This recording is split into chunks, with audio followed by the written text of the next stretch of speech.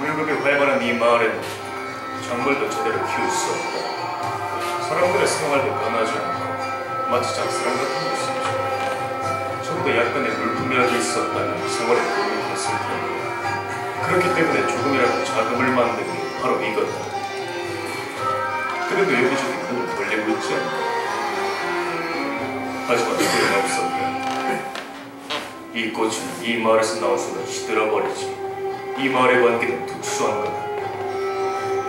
그대는 왜 닌자의 길을 꿈꾸는 거지? 이기기 위해서 아마 아닐 거다. 날마다 닌자의 기술을 배우면서 스스로를 단련시키고 그 기술을 이용해서 적을 쓰러뜨린다. 소중한 걸 지킨다. 그것이야말로 닌자다운 삶이지. 과거 자네 아버지나 스승이 그랬듯이 말이야.